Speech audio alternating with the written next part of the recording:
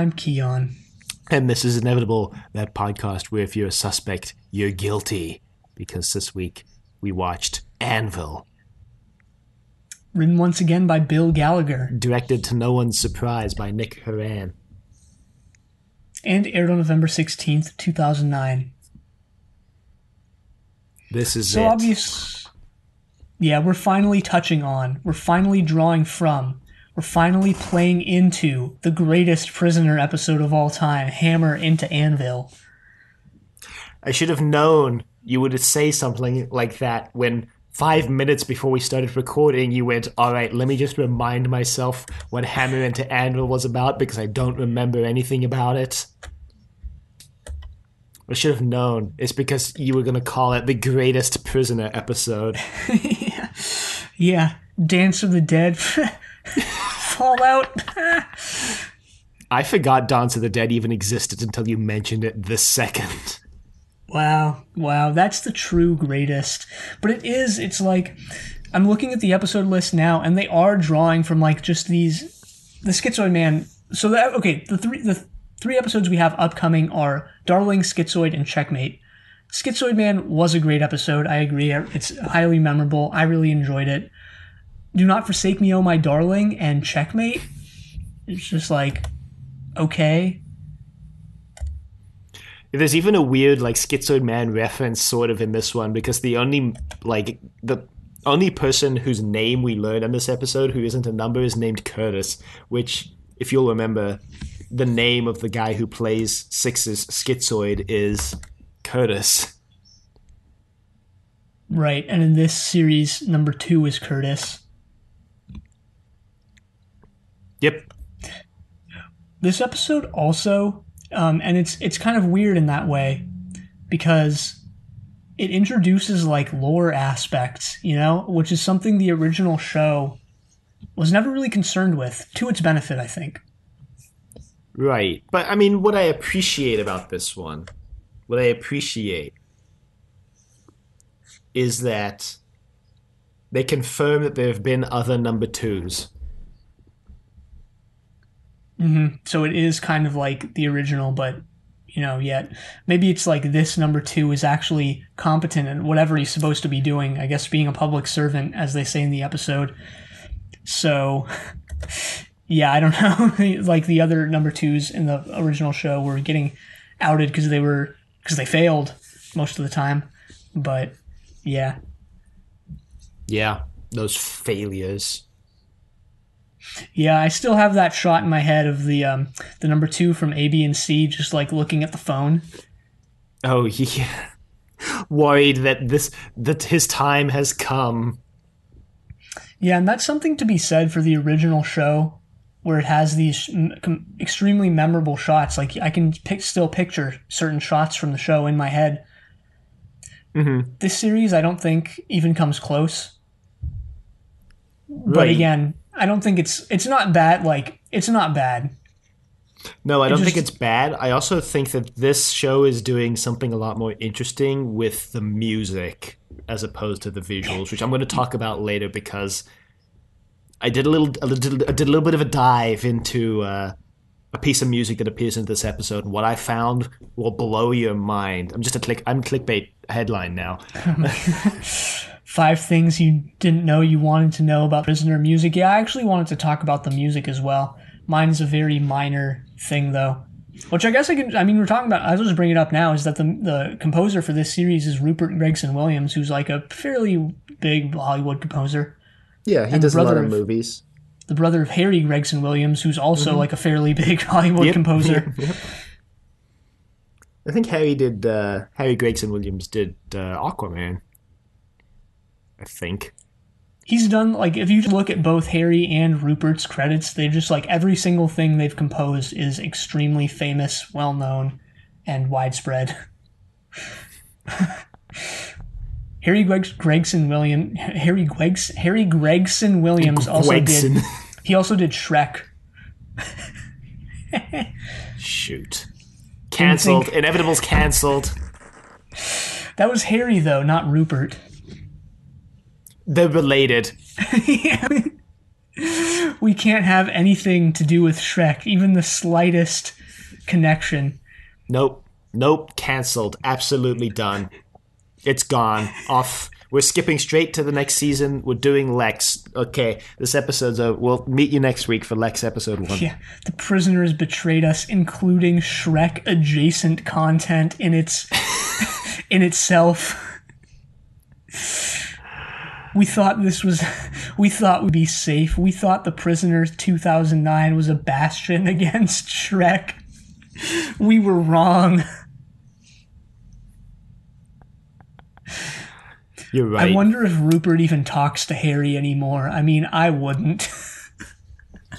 you did Shrek. How dare you? I mean, there's the obvious thing that we're not mentioning and that I'm not going to actually say. I'll just hint at here, but, you know, there's that obvious thing. Dylan knows what I'm talking about, but you as a listener probably don't. I'm going to save my music related thing till the end because it involves a piece of music that gets played at the end that, with the context, is a little more interesting to talk about. Yeah, no, I didn't think we would go on a massive tangent against Shrek. I just wanted to bring up that, like, this was done by Rupert Gregson Williams. And, he, I mean, it's a good score. I really enjoy it. No, yeah, I mean, the one piece that I'm a little eh on is the title theme music, which is a little dull. Yeah, it's just pretty much boring. Uh, but the rest of the music's pretty good. The rest of the music's pretty good. Yeah, this is like the one TV show where it's like the, the title intro theme is like meh, but the the rest of it is like yeah, yeah, this is pretty good. Usually it's the other way around. Yeah, exactly. So, episode opens, and I was really curious to see where this episode was going to open because last week ended with Six being pulled into the hospital screaming, I am Six, I am Six. And this episode kind of just opens with him like dumped on a dock.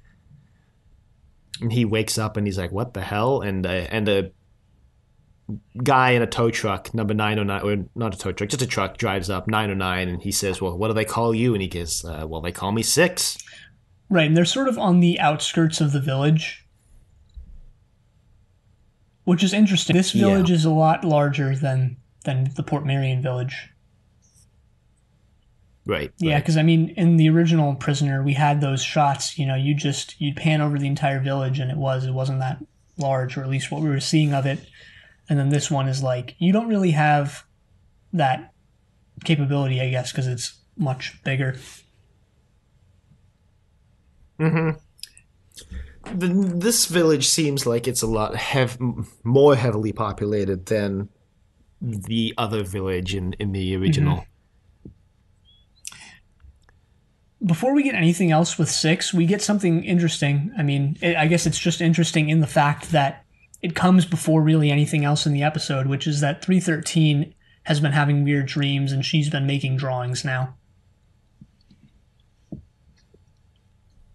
Yeah, and this kind of leads into something that gets introduced in this episode or given a name, which is that people who dream of the outside world are called dreamers, and they're sort of like an underground resistance group almost. Yeah, and I think that's that's kind of what we learn now because 909 takes six somewhere. He just tell he doesn't tell him where, but he just he takes him somewhere, and lo and behold, it's it's to number two playing golf. Right.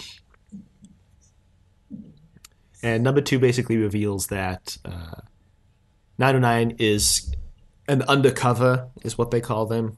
Yeah, I think they also And call them like Six to they also call them cells. I think, as in like Well, so it's it's 909 explains this actually when he, uh, when they get in the car in a second. But undercovers are the names of the individual people. Like each person is an undercover, and they work in cells that are composed of two to four people. yeah. So obviously, not riffing on because this is exactly what it is, but obviously like you know like Splinter Cell or like Terrorist Cell or something like that, right? Yeah, which is usually i mean i don't know i was going to say it's usually given to like to uh, sort of rogue groups or something like that again like splinter cell or terrorist cell or something but like maybe it's not i don't know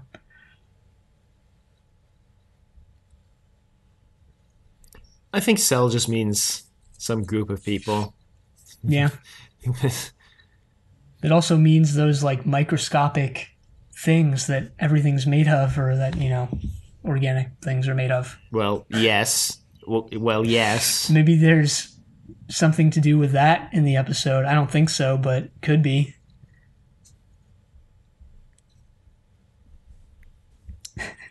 Gonna go with no. Anyway, they're having this truck drive on the way back because their um, assignment is to investigate this guy in 1955. And 909 says that their job is to not get in the way of any of the other agents who might be investigating him because they don't know who they don't know if there are other agents and if there are they don't know who they are and they're not supposed to even ask and they don't know and six goes is like well if we don't know then like couldn't anybody be investigating anybody 909 is like Yeah, couldn't we all be yeah undercover? 909 is like yeah i guess He's just like, well, I don't like to think about that. Basically, do we learn that 1955 is um, maybe associated with the dreamers and that's why they're going after him in this scene or is that like just insinuated later i can't even remember I believe it's mentioned here. Yeah, so the Dreamers, you find out mostly via context. I don't think they ever actually explain it because, again, every explanatory scene was cut out in the deleted scenes. um, there's this coalition, yeah, of people called the Dreamers who we kind of already knew about, and they have these dreams of wor- the, the world outside the village. Yeah. Yeah. They're dreaming of a world outside the village, unaware that that that, that is. Well, actually, wait, no, hang on. Maybe the world doesn't exist. Maybe in this universe, only the village exists. I don't know. Yeah, we don't know yet. And this is the episode. This is really the turning point. It's we're already halfway through the show, but now you know the path ahead is mostly clear, which is that six is probably going to be seeking out the dreamers and and going from there. But then again, I wouldn't put it past the show to just throw us for a loop there. To just not do that. Yeah, Surprise.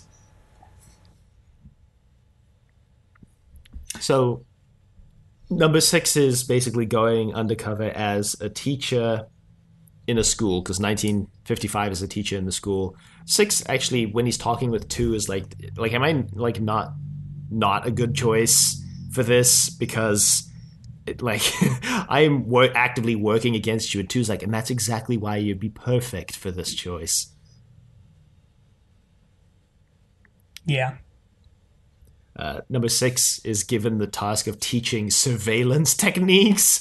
And he's like, Isn't it weird we're teaching surveillance techniques to kids? And 1955 just like sidesteps the part of the question that's like to kids and just goes, Well, it is your specialty, isn't it? It seems like number six is having like a different job in every episode. Last week he was a truck driver, now he's a teacher. Right. Which is interesting. His methods seem a little outdated though. When he's in class later on, one of the kids just pulls out like this big, um, uh, I don't know, microphone or something. Yeah. Uh, but we so number six gets kind of a primer on teaching at the school and watches 1955's class, which is a history class, I believe. And they're basically going over the history of the of the number twos. Uh, so they ask like which two oversaw the Reformation, which like what is the Reformation? What does that even mean? Uh, apparently it was two the fourteenth. hmm I wonder which two this one is. We never really learn. We never learn. Probably more than fourteen, I guess. They also ask like who was the first lady, like who was the first woman to, and someone just responds like lady number two. like wow.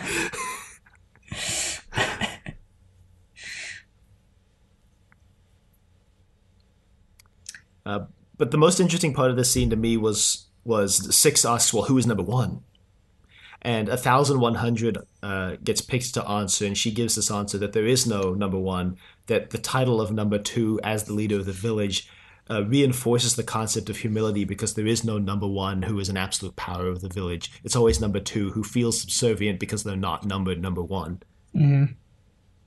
which is an interesting kind of thought Yeah, again, I mean that's a way you could even take the ending of the original show is that like there is number one is like society itself or something like that. I don't know, but like Right, here, then- here that's more heavily codified into the actual world of the story. Yeah, and even still, we don't even know if it's this kid's telling the truth or not. I mean, 1955 says yes, yes, very good, but like maybe that's just the truth that the village is pushing upon the kids. Like we see pretty explicitly that the school, it's never stated, but it's it's heavily implied through all of this that it is a sort of propaganda machine for the kids.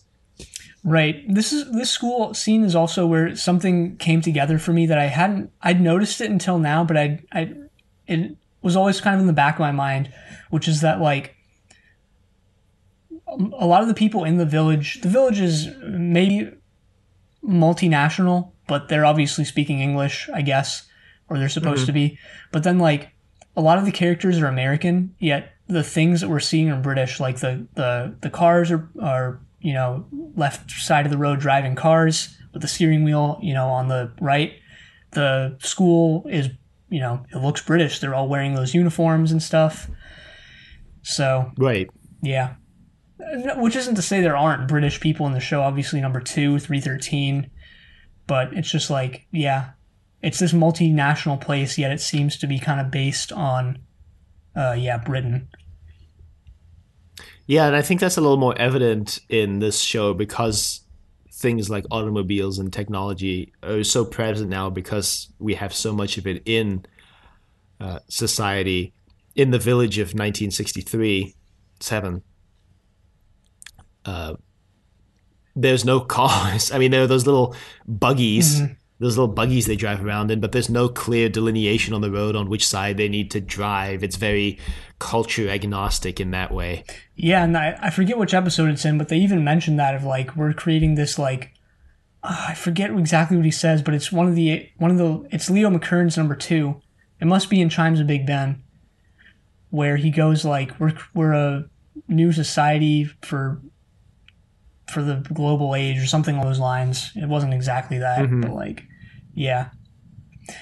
And plus, it's like Patrick McGoohan was a British spy from Britain, or number the number six, not Patrick McGoohan. Again, it's like what's the difference, right? Again, the lines blur. Yeah, so the original number six was a British spy from Britain. So you, I mean, even I don't know if people tend to have this perception, but like for me, even though obviously you don't know where the village is uh, in the show, you don't really know where it's supposed to be even, but it's like to me it was like all right, it's in Britain until the until it throws you for a loop kind of. But like for this one number 6 is American, so maybe it sticks out a little more that he's going to this more British society.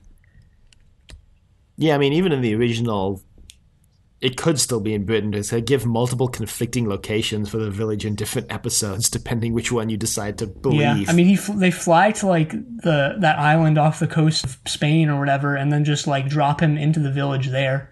So like, I guess there's one there. But there's, I don't know. There's also like chimes of Big Ben though. Like the geography of their escape wouldn't work from that island in that episode, which implies that it's it might actually be in like Poland, I think, is where they said mm-hmm. in that episode. So yeah, I mean, who knows? It could be multiple different ones. It could just be. I mean, it's it just it just the show literally just throws that question at you and then never answers it. So there just is no way to know. You know. Yeah. Mm-hmm. Which again, this show, I just kind of want to reiterate, doesn't seem like it's doing that. This one is still heavily hinting that, like, all right, there's going to be some explanation to all of this at the end. Maybe there won't be. Maybe that's this version of the prisoner's version of like messing with you. Yeah, it does feel very. I mean, it feels very much to me like the village is some sort of microcosm of something else, and everybody in the village doesn't know about the existence outside the village, and that, that that's going to come into play somehow in the end. Um, do I know how? I don't know. I don't. I guess we'll see. Anyway, I think they do some more surveillance of of 1955 now. They kind of spy on him and they have like they have this conversation that's like it's it's like it's somewhat humorous in that they're like they're they're just looking he's just swimming. He's just doing laps in a pool and they're like only someone only uh, what do they say? They're like only a man who doesn't want to go home after school would come here and swim laps. I'm like, no, that's like what? Like that's the conclusion you draw from this. I mean, that's the so the, like that that's the conclusion that 909 draws because six doesn't draw that conclusion, and that's I think just indicative of like how 909 has been an undercover for God knows how long, and so his thinking has been so warped into like the only explanation he can think of is related to his work, which is that he must be hiding something, or he doesn't want to go home. And um, this ties into my next note, which happens right about nowish. Uh, I think six says it is they say, well, everything is suspicious if you look at it properly. Even the village. I mean, uh, number six is obviously looking at the village through a, a lens of suspicion. Maybe he just needs to chill. Maybe he just needs to relax. Maybe he just needs to settle in and become one of the village people. Young man, Yeah. there's a. I don't actually know the first line of that song. Um, oops. Neither do I. I don't know any of the lines except YMCA. that's the. That's not even a line. It's just a word. It's just an acronym. That's all I know from it, though. So six now gives his first uh, lesson, and he has all the kids bring in surveillance equipment, and he's learning a lot. You know, we have one of the kids explain to us this little fiber optic camera. You drill a hole into a wall, and you can feed the camera through and see everything. Six furiously taking notes. I mean, actually, though, Yeah, and uh, 1100, I think, was her name, is the one who has that big microphone. well, then Six decides to just employ child labor because he's like, here's your next task. I want you all to investigate the people who run this village, find out what they want. And, you know, this just goes to show you how awful at his job Six really is because lo and behold, they just figure everything out within the next five minutes. No, no, I'm just kidding. We wish.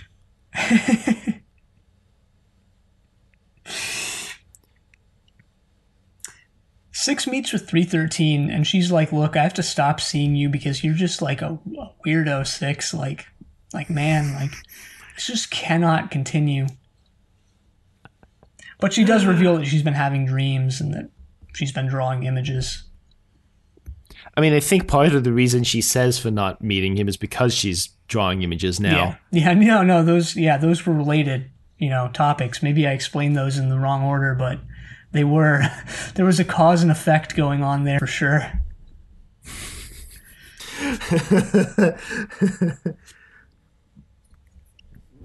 So the kids go off to do his bidding, and we never hear the result of that for the entire episode, except in the deleted scene.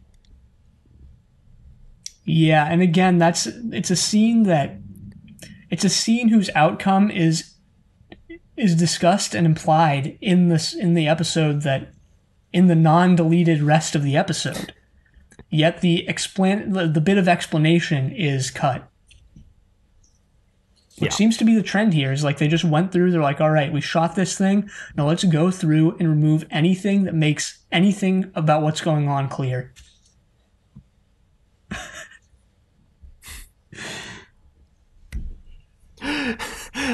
Yeah, the, the the deleted scenes for this week were very much of the kind of delete them to make the episode less informative. yeah or to make to make it more mysterious or something and it's like it's going to be hard i think going forward to not have those deleted scenes be the foundation for what's going on in my mind at least in my mind but um because it's like those are where we're getting this information that seems to be actually what the rest of the episode is going for it just never tells you that you know Yeah, I mean, I think that's fine though, as long as they're self consistent.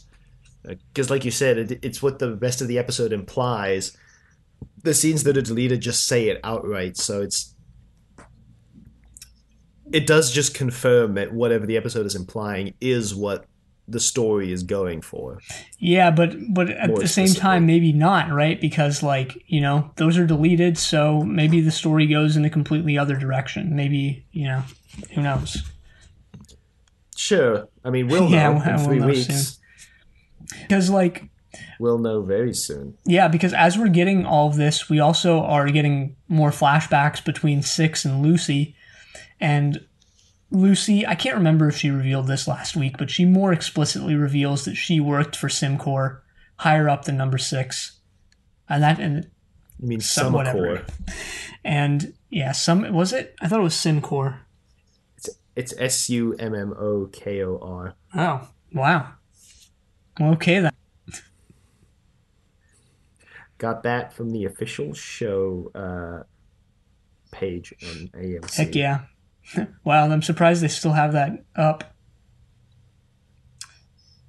Uh, it's they've got they had a really interesting behind the scenes video for this episode that I didn't end up finishing before we started recording, Huh. unfortunately. but I'll link it in the show notes. Well, anyway, they decide to go spy on 1955 in the comfort of his own home. And from the comfort of on his roof for them. Right, and 909 and 6 have a conversation while they're up there, and 909 basically says, "Yeah, once you're a suspect, you're uh, you're guilty." And then he sends 6 to go get uh, some coffee out of the car. Of course, 6 when he gets there decides to investigate 909's like surveillance notebook. Right, and he has information on six. He has information on three thirteen, and six is realizing that he has been, I guess, tasked at least in the past, if not still currently, with surveilling them. Right. The way they're spying on 1955 is also what the kids said in class, which is that they're drilling. They drill this hole in his roof and stick a little camera through it. Yep. And uh, he's he's asleep for a little while. This all happens concurrently with a scene where two is also being spied on by someone we don't know who. Yet, and still maybe don't. I mean, I have a theory. Okay, I mean, I just had a thought of like, yeah, that's probably what it is. I wouldn't call it a theory because there's no like, I don't know, I don't know. We'll, we'll see. We'll get there. We'll see. So he's he's being watched. Both him and 1955 notice the cameras watching them. And they're like, well, Two just kind of like laughs. 1955 decides to sit down and slit his throat. Yeah, 1955 decides to just kill himself. Uh, for for for I don't want to say good reason, but the reason why uh, presents itself at the end of the episode. Yeah, or you know, ostensibly the reason. Well, I mean, I don't know. Working in that that uh, hole seems seems kind of kind of really bad. Yeah, that was like a sapphire and steel ish. Like, let's introduce, you know, something right at the end here. Yeah, so six is like we have to take him to the hospital. Nine and nine's like, well, it's not our job. What he does is his business. And they're like, no, we're taking him to the hospital. So they just they basically just dump him on the front of the, the front steps of the hospital and Yeah, leave. yeah. Uh, it's at this point where six is like, hmm, hmm, I better. uh What is it? What is he? He doesn't at this point doesn't he see 909 meeting 1112 in like the club or whatever? He does, but we've skipped over the scene where two says to eleven twelve, like, I know I know you've got something going on and that you like don't trust me. I'm pretty sure Yeah, it's just think- six. I think it's like 1112 is like he's like sleeping and then when he wakes up he goes like, you know, other kids don't have as good a relationship with their parents as we do or as I do. But I don't trust or like I don't know, I don't remember. That's it. Okay, that's this is what we're skipping. Six doesn't immediately go to see eleven twelve. He goes to see two. He gets invited to see two at the golf course alone. Right again. hmm And two is like, "Oh, you're doing a pretty good job." And six is like, "Should we wait for nine oh nine to arrive?" And he's like, "No." And six is like, "Ah, you want me to surveil nine oh nine, don't you?" And he's like, "Yep, exactly."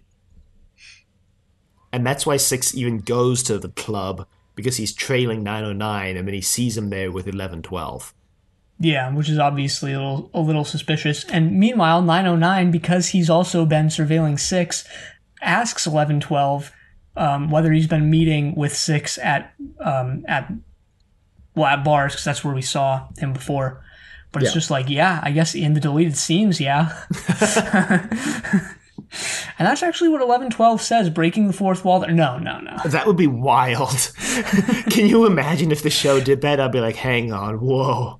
in the last episode, like number six doesn't understand what's going on, and we're we as the audience are left in the dark. And number two just turns to the camera and is like, "Well, if you would watch the deleted scenes."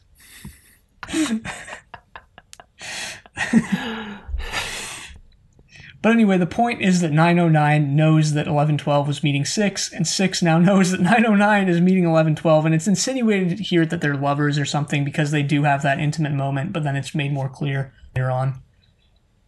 Yeah, yeah. I mean, it's never even explicitly confirmed, but it is pretty heavily indicated that uh, this is this is a relationship of a romantic nature. Yeah, which is weird in itself because, like, 11 12, isn't 11 12 supposed to be like a teenager?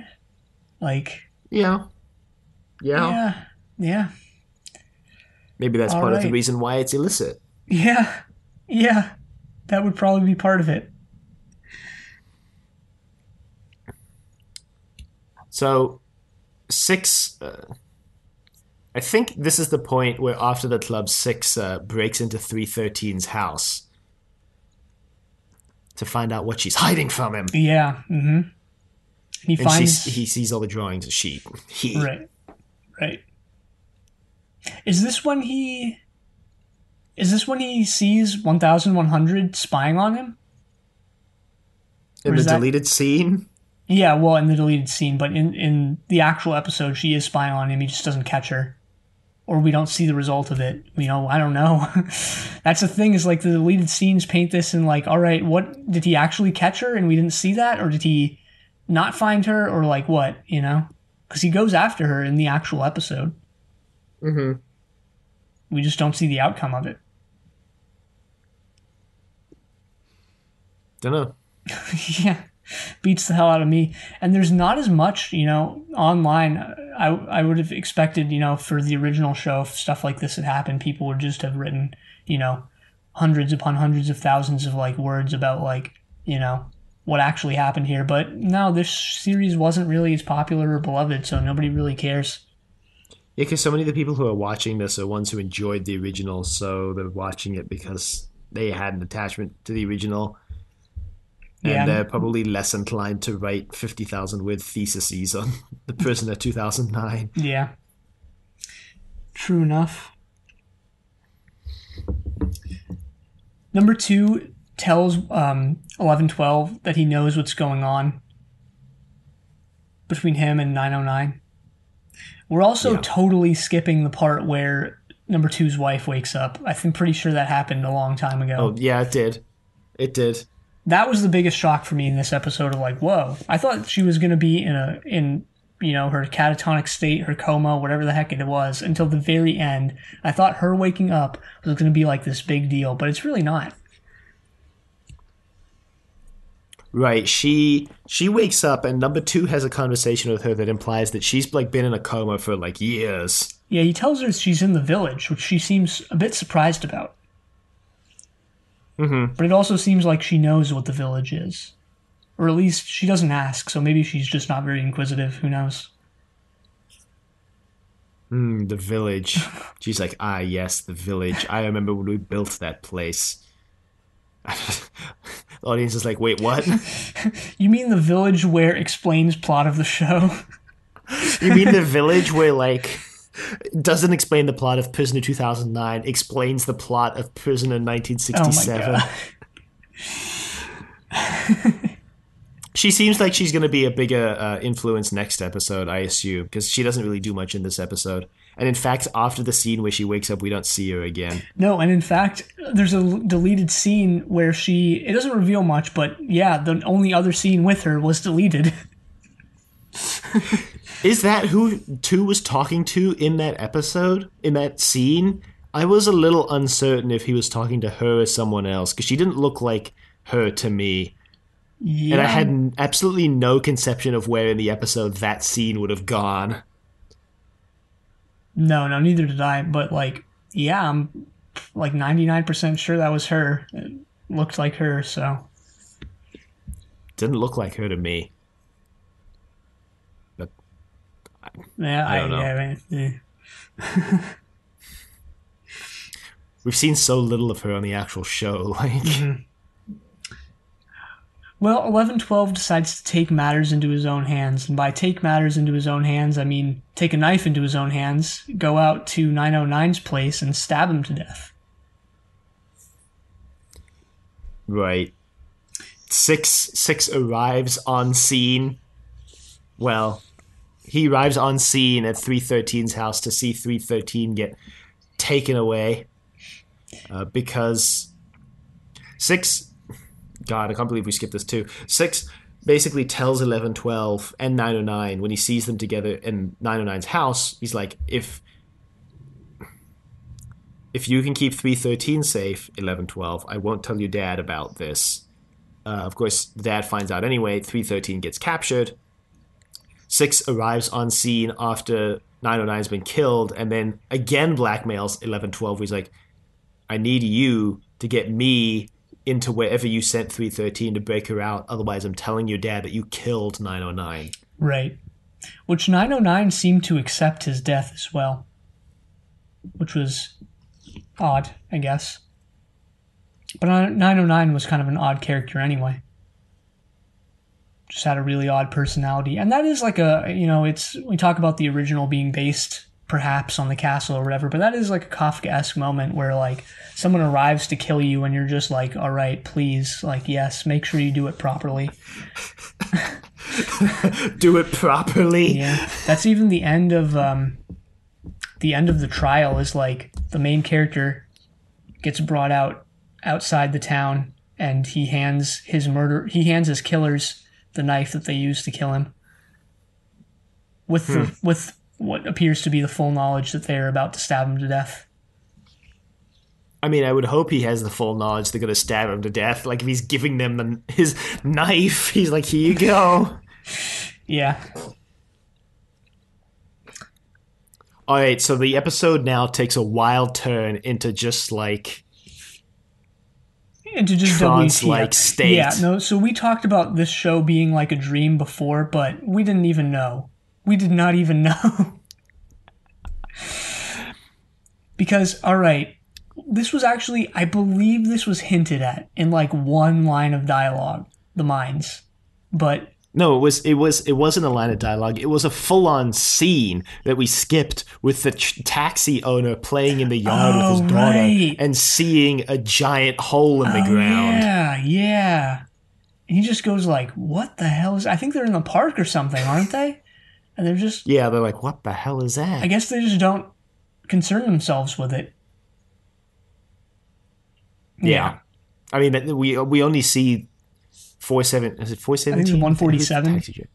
One forty seven. I had the right numbers in the wrong order. One forty seven is just sees the hole and keeps his daughter away and is like, huh, Yeah. weird. Again, that's like that seems similar to when Six asks three thirteen about the explosions, and she like she's just like, yeah, it sometimes just happens.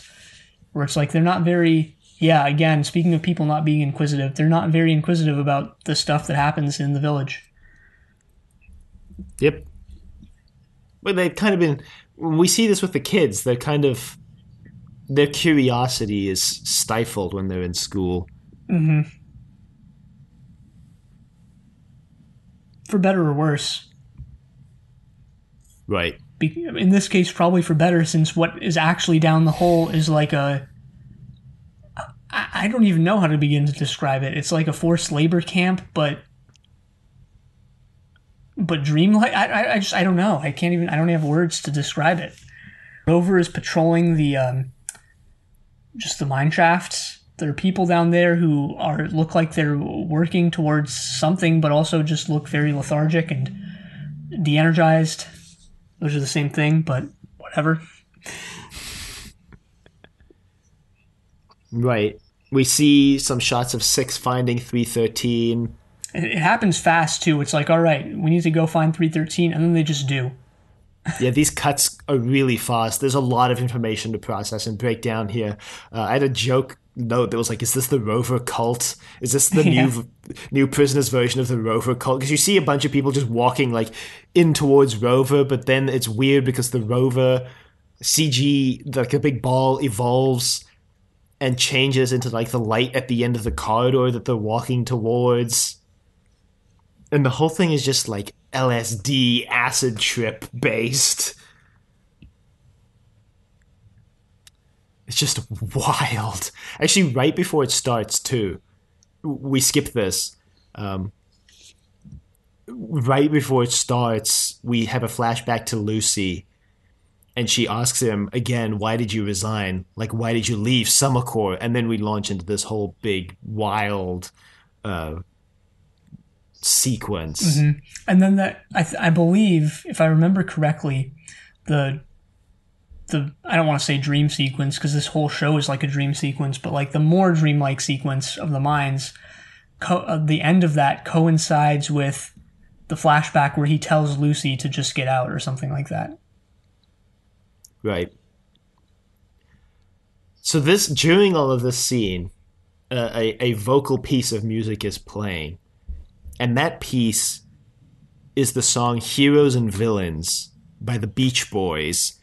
And last week we talked about. Uh, now I'm forgetting the name of the person who who brought it up. Let me actually just. I have the page open. It was that person on LiveJournal, a site that I hadn't heard, I hadn't remembered even, I didn't even remember existed. Yeah. Oh yeah. Uh, Jason Bloom brought up uh, the song "Smile" from the Smile album, uh, and the use of the water theme from that song last week, with an episode focused around uh, escape, specifically over water. Well, the song "Heroes and Villains." Can you guess what album that was also meant to be on?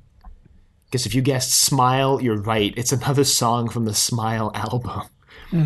And uh, and let me just read to you the, the lyrics of the first verse of this song. okay. I've been in this town so long that back in the city I've been taken for lost and gone, and unknown for a long, long time. Fell in love years ago with an innocent girl from the Spanish and Indian home of the heroes and villains. If that just doesn't describe six in this to a T, except for the whole Spanish and Indian bit, like that's a little eh.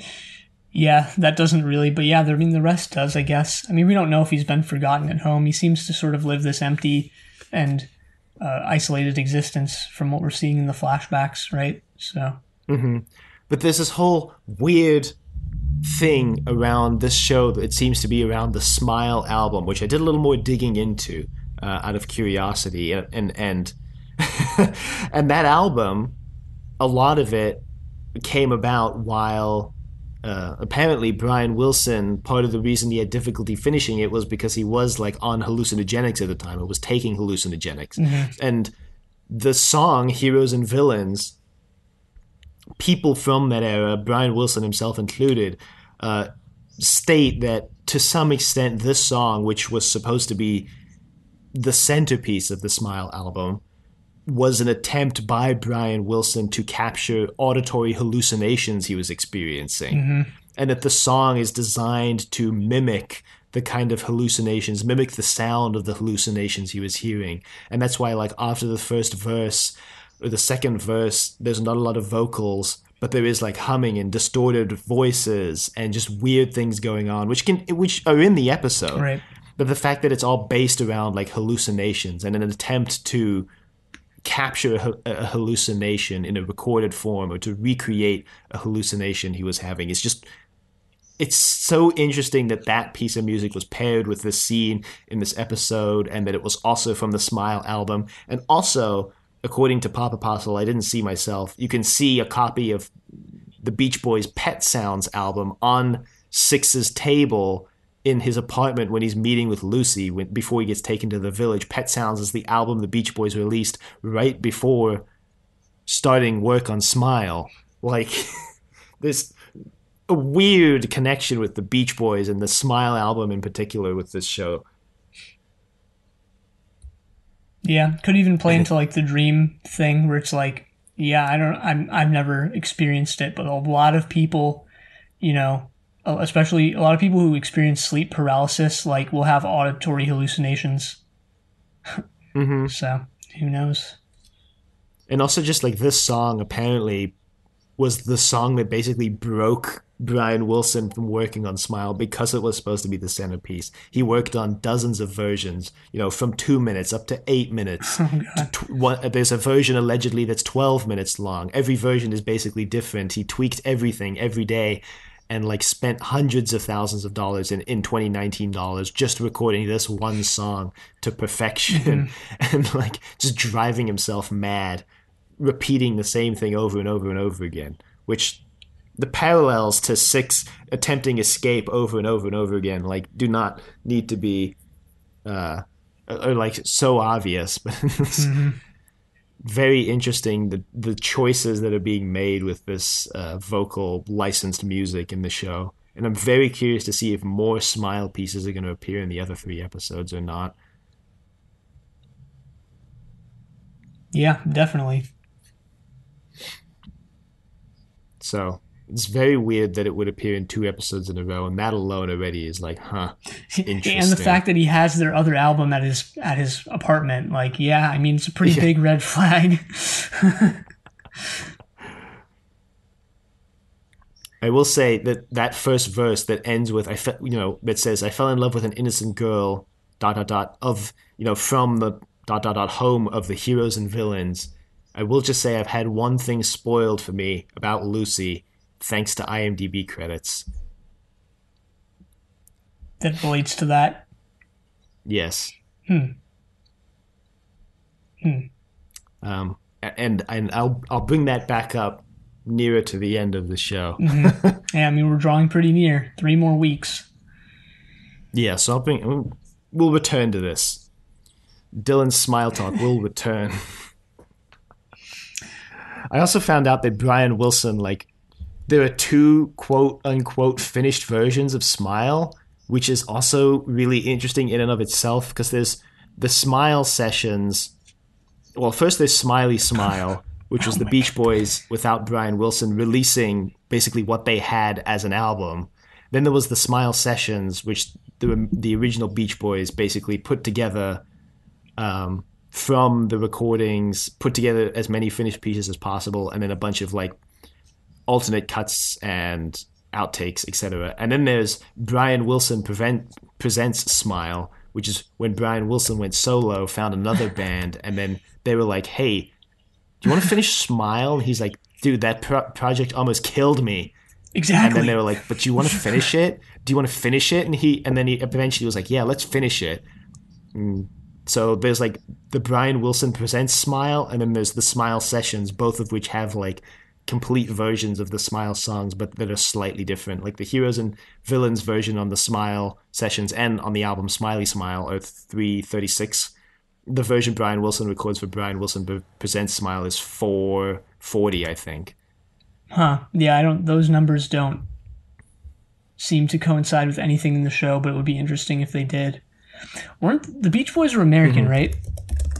So and Yeah. weren't they the? I don't know too much about them, obviously, but like the narrative I the narrative I always heard about the Beach Boys is that they were like they played second fiddle to the Beatles and they always wanted to, you know, outdo the Beatles, but they basically never did in popularity, even though they were massively popular themselves.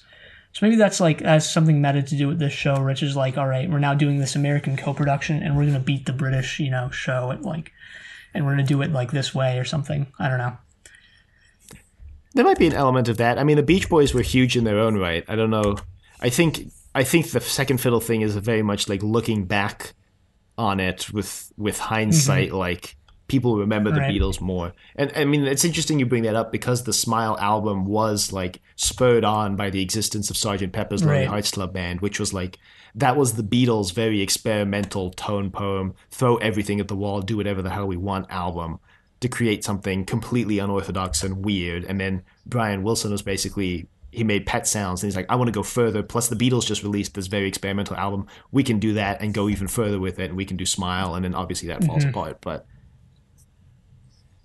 it's it's all very interesting and weird, and I'm not sure what the show is is trying to say using all of this, but I but there are a lot of themes and parallels between the Smile album and like what Six is going through in the village in this episode and in this mini series.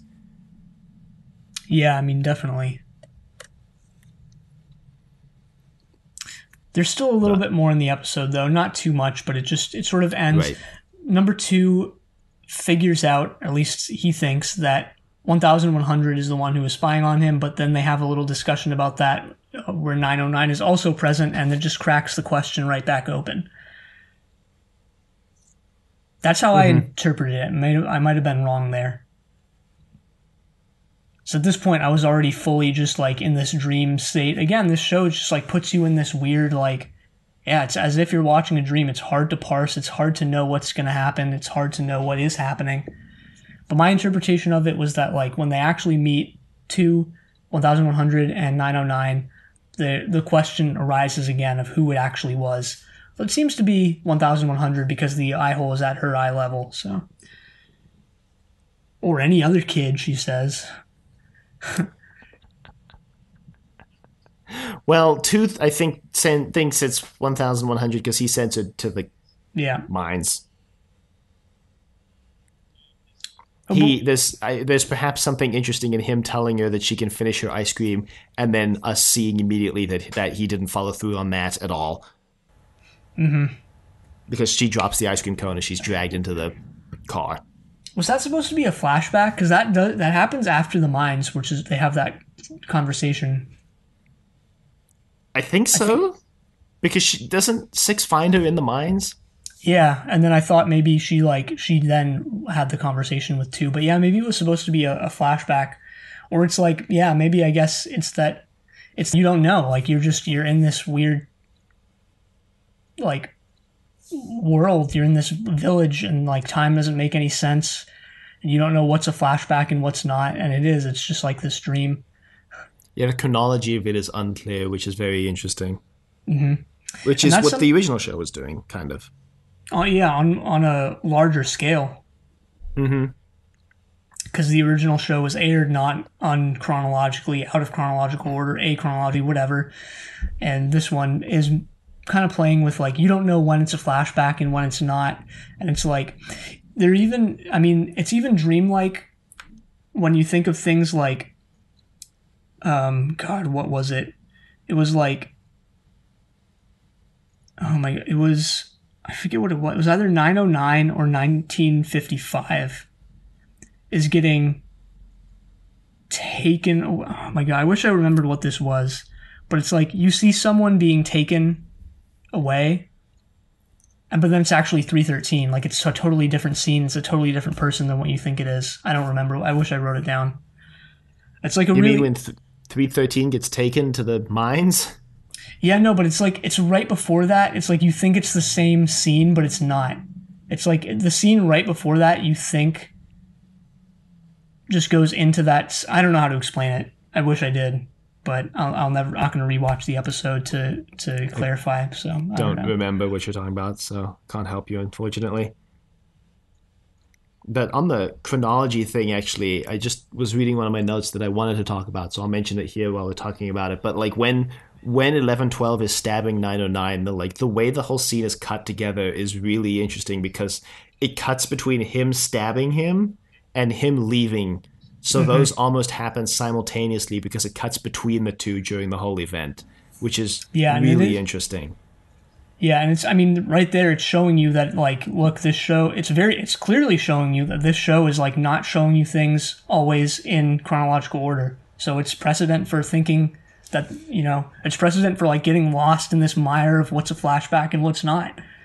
I remember what it was now. It was that right after 909 gets stabbed, you see an ambulance taking someone away and it's not 9 it's not 909 it's three thirteen. Oh, 313. yeah. So it is when 313 gets taken away. Yeah. So it's like, and that's something that like maybe we're leaning too heavily into the dream angle, but maybe not because dreamers is a big thing in this show and people seeing things in dreams and stuff. But it's like that stuff. That's something that hap- would happen in a dream. Like someone gets stabbed, and then the person who getting taken away to the hospital is not that person. You know, like it's some they just morph into someone else all of a sudden. Mm-hmm. Which isn't obviously 909 is, doesn't morph into 313, but it kind of has that vibe of like you don't really. It's just one scene going into another type thing. I don't know. It's I'm really enjoying it. That's like I'm really enjoying this show and kind of what it's doing. Yeah, I mean, I I think my favorite thing that it's done so far is just still even the question of like, is all this even happening? I mean, from the first moment we see Six, you know, from the first moment of the show, Six is dehydrated in a desert and like all of a sudden randomly a guy just shows up like getting shot at by the village like what are the odds you know how much of this actually happened? Or how much of this is six mm-hmm. dying on the sands? How much of even all of this is happening just in his head while he's still back in his apartment with lucy? Like we don't know. I mean is is any of the lucy stuff even real?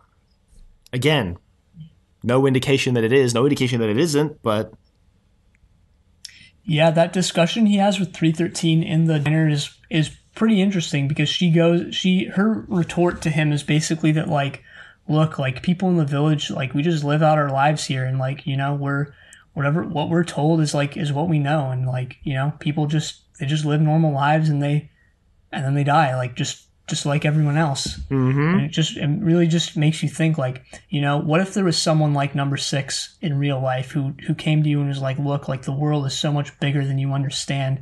Like the universe as you know isn't like there's something outside of that, and you just be like, what what you, what the hell are you talking about, man? Like, you know, you wouldn't not you would you just totally not deny it, right? yeah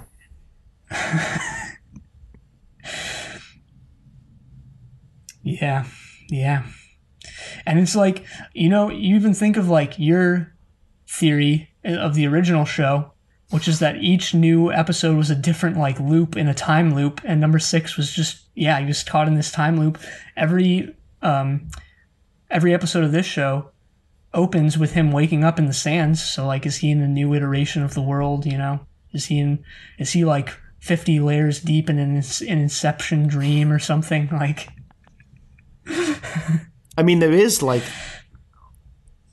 oh god, that's that's actually really interesting. Now that now that you bring that up, because even though this show feels like it's continuous, it feels like it's telling one continuous story. There is there is actually, if you think about it, nothing really contiguous between the episodes.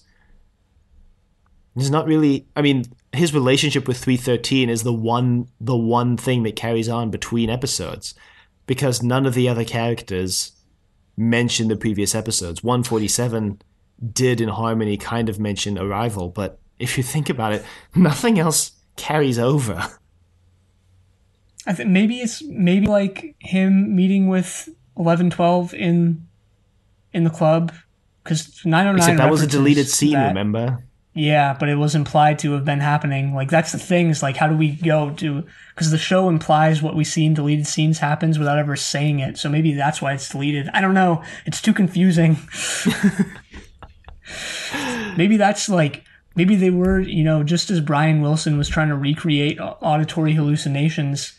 Maybe they're trying to recreate the the thing of a dream where it's like you forget as time goes on. It's like it gets more unclear like the more you kind of the more you think about it the more you try and put yourself into that dream and make it make sense the the less clear it is Yeah, I mean that's when you're trying to lucid dream. The more you try to grab hold of the dream, the more it slips through your fingers. yeah Lu- hmm, lucy lucid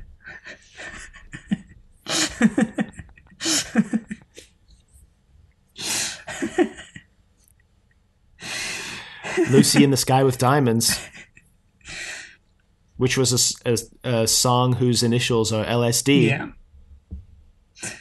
Although the Beatles vehemently deny that the song is about LSD. Yeah, it's about L- Litzt Lucy in the sky or Litzt would I don't know Was that song on Sergeant Pepper? I don't think. Oh, it was. That song was on Sergeant Pepper. Wow, that's weird. lest we forget, I guess, the original show did end with not end end, but near its end, it threw in that Beatles song, "All You Need Is Love," as hundreds, dozens, or perhaps hundreds or dozens of people were murdered. Also, devastatingly, I Am the Walrus was actually on Magical Mystery Tour, having my Beatles fan card revoked. Well, do we want to detail the deleted scenes? I mean, I feel like we kind of did throughout the episode, but maybe we just go through one by one. Yeah, the first one is just an extended version of the first flashback with Lucy. We don't really get anything, any more information, except that I think that actually the information that she worked for Summakor is only in the deleted scene and not. I think that's the. I think that's the part they actually cut from the main episode. Yeah, yeah it's um, just it, it's implied in her interactions with him, but it's outright stated in the, in the deleted scene. Uh, the the second scene, so we're presented four scenes. Uh, scene 3-5, 3-6, 3-59, and 3-66. And 3-5 and 3-59 are just extended versions of scenes that are already in the episode that don't really provide any new information. 59 especially. Um, 3-6 is the one where 2 is talking to, I guess this is his wife. I'm pretty, I was pretty sure. She was. seems like way catatonic. And like that's why I don't know where it would appear in the episode because it's clearly not after after she wakes up because she's full on catatonic. Is it before? Did he take her for walks like in in the greenhouse? Like I have a lot of questions. After, I thought it was after she woke up because I thought that was her like you know getting better or something. No, but she's full on catatonic. Like they've put spittle on her mouth, dripping from her mouth. There's no brain function kind in, in of the thing. scene. I thought Yeah. the deleted scene was him in the garden with her talking to her. Yeah, in the garden. She's in a chair, a wheelchair, completely unresponsive. Oh, I didn't. I didn't Two realize even that. I think makes mention of this Yeah. in his talk. He's like, you don't even. Yeah, I guess you can't Oh, even respond. Like she's completely unresponsive, which is why I don't think it was after she Huh. woke up. Yeah, I guess it was before then. Yeah, weird scene. Weird scene. Sixty six is also a weird scene. Uh, that's when Six finds eleven hundred hiding in a tree. He says the brilliant line, "I do bad things, but I have good reason." Obviously, talking about his obviously double speaking there about his surveillance uh, job. Then there's the other scene that was, I think it was the third one, where it's an extended version of when two and six meet for the second time, and uh, two talks about how letting people know they're under surveillance is actually a good thing because it keeps them from getting paranoid over whether they are or not. Like a Philip K. Dick moment. Real Philip K. Dick hours.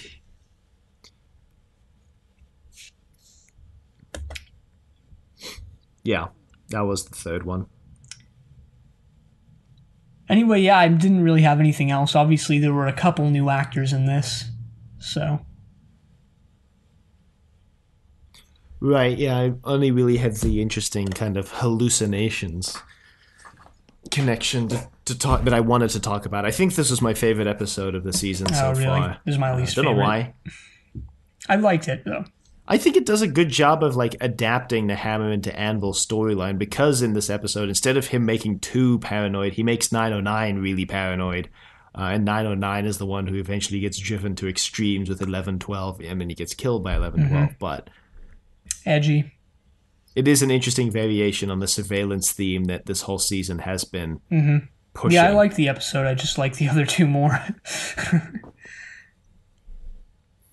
Rip. Feel like I liked Hammer into Anvil more than you two. Was that the other way around? I don't remember either. remember. It was like eight months ago.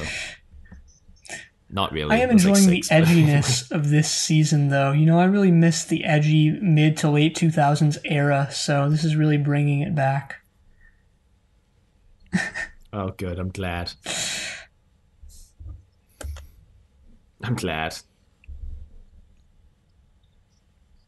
Uh, but yeah, so like you said, we've got some actors to talk about um, that need to be cataloged, filed, and stamped. What was it? it will not be Uh, I will not be pushed, p- stamped, briefed. Oh, I don't know. I can't remember. cataloged, filed. I don't know. I don't know. Uh, Warwick Gear, sorry, Grier plays 1955. Uh, his biggest roles were in Dread and Mandela: Long Walk to Freedom. But he was also in a movie called Cape Town, which is interesting because the tunnel scenes in this episode were filmed in Cape Town. Uh, Black Sails, a movie called Shark Attack 2, which is hilarious.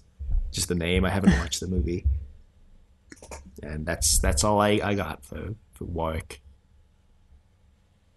Mm, Well, we also have Vincent Regan playing 909. He has a massive career with over 100 different acting credits. Um, yeah, he's been in London's Burning, the TV series. I'm just going through now. Black Beauty, Invasion Earth, the TV miniseries, Eureka Street, Rebel Heart, Rescue Me, um, Empire. Let's see. The Street. I don't know what that is, but it's a TV show. Oh, he was in 300. The Nativity miniseries from 2010. Uh, he was in Snow White and the Huntsman. nice question mark. Uh, Atlantis, the 2014 series. AD, the Bible continues. Great. Sounds like a lot of Bible stories. Oh, he was in Poldark. nice. Traces. I don't know what Traces is. Flesh and Blood. And yeah, just a lot of other stuff too.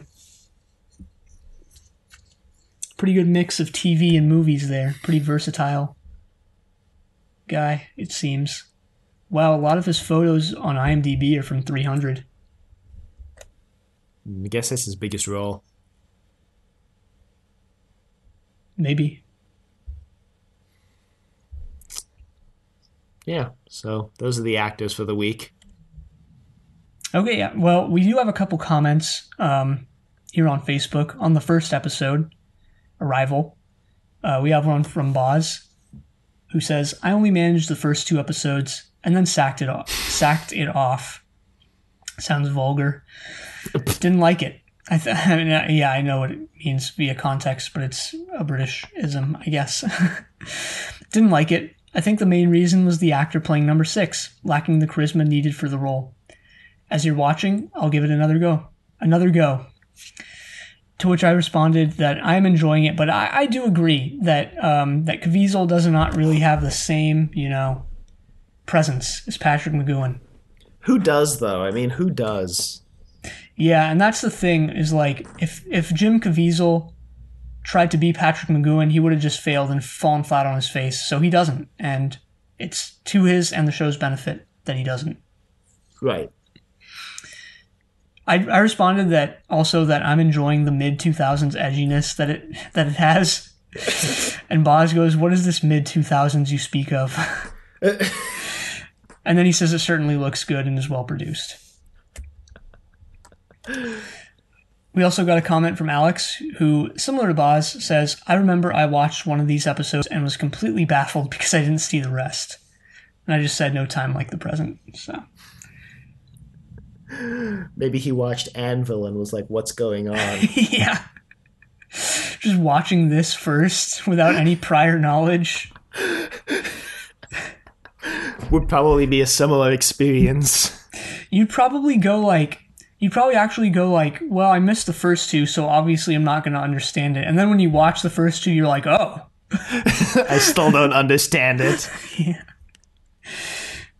That's okay. I, I like being thrown into this weird world where, you know, you don't really understand anything and ev- not everything makes sense.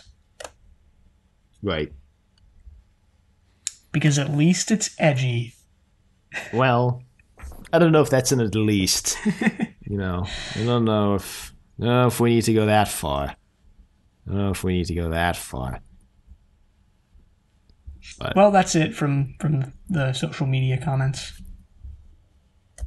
Right, well, uh, if you would like to email us, you can reach us at thedoctordick@vegetable.com. Questions, comments, concerns, angry rants, love letters, your thoughts on the Prisoner 2009 Anvil. You can find us on YouTube at Dick at Vegetable. Find us on Apple Podcasts, Google Play, and literally anywhere you find podcasts at Inevitable, a classic sci-fi podcast. Be sure to leave a rating if you like the show. Check us out on Facebook. Trust your doctor. Like us on Facebook. Also check us out on Twitter at TYD Podcast and follow us on Twitter. And next time we're going to be watching Darling. But until then, the end.